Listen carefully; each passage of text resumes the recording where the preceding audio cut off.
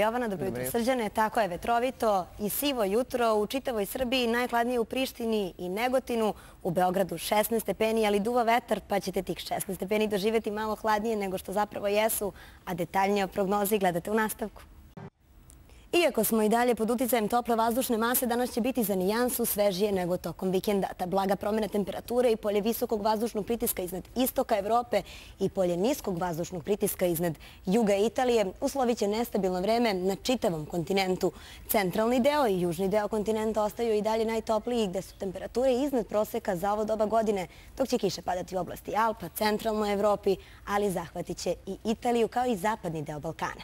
Danas će biti najhladniji u Helsinkiju sa temperaturom temperaturom od 9 stepeni, a najtoplije u Pragu, gde će u najtoplijem delu dana biti 25 stepeni.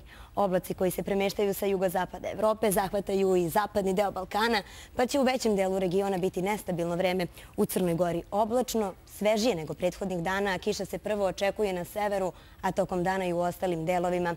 Tokom najtoplijeg dela dana u Crnoj gori će biti 23 stepena, koliko je maksimalna dnevna temperatura u Podgorici, a na Žabljaku 15.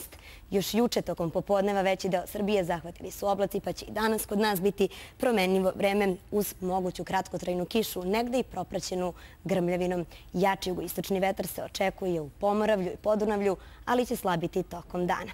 Trenutno prisutne minimalne temperature pa je najhladnije u Čačku gde je 11 stepeni kao što možete da vidite ako ne računamo Koponik gdje je trenutno 6 u Beogradu 16 stepeni. Maksimalne dnevne temperature kretaće se od 24 stepena u Negotinu i Prištini do 24 stepena u Beogradu, odnosno u Vršcu. To su danas najtopliji gradovi, a ovo je prognoza za naredne dane. Utorak, sredu i četvrtak promenljivo oblačno i nestabilno vreme sa šansom za pojavu kratkotrajne kiše i lokalnih pljuskova uz manji pad temperature. Veća šansa za kišu biće u zapadnim, centralnim i južnim predelima.